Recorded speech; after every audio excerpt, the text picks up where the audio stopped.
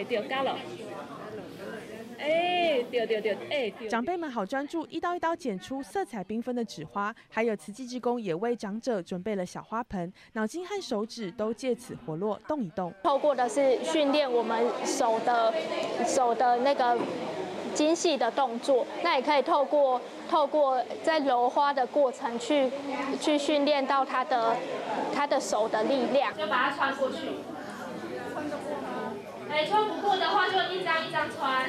志工在花莲国心理活动中心一步一步用心的教学，透过众人的双手，让不雕纸花有了生命。我们用我们的爱心，用我们的细心，把它制作成就类，就像能够让它产生有生命的花朵一样。